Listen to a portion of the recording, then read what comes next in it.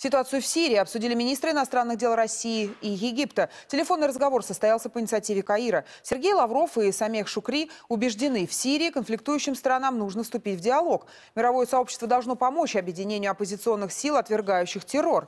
Россия и Египет в составе международной группы будут способствовать этому процессу. Главы внешнеполитических ведомств также убеждены, необходим общий список террористических группировок, действующих в Сирии.